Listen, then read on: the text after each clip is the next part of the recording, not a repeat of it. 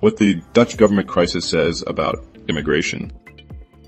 Dutch Prime Minister Mark Rutte has resigned due to a divide over immigration policy, triggering new general elections in the fall.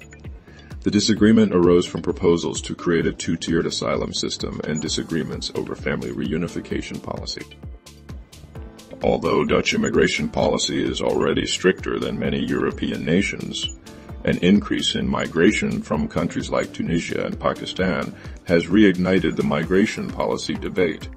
Migration to Europe has been driven by factors such as the economic fallout from the COVID-19 pandemic conflict in Ukraine and parts of Africa, and parts of Africa and political and social crises in the global south. However, the political and social context for migrants arriving now is different from that of refugees who arrived in 2015. Migration trends to the European Union have become more complex, with the number of irregular border crossing increasing by 66 from 2021 to 2022. Migration from Ukraine, Morocco, Tunisia, Pakistan, Syria, and Afghanistan has seen an uptick. Tunisian President Kais Saied has implemented a racist crackdown on black African migrants Migration from Pakistan has also increased, driven by volatile government and economic instability.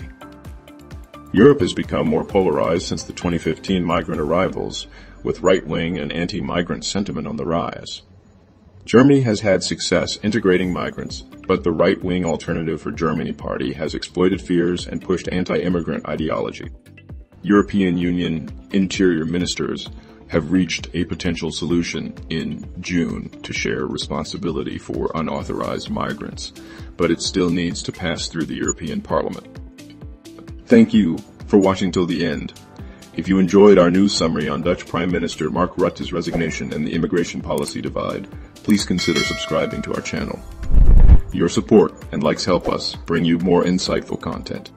Stay tuned for the latest updates and analysis on global migration trends.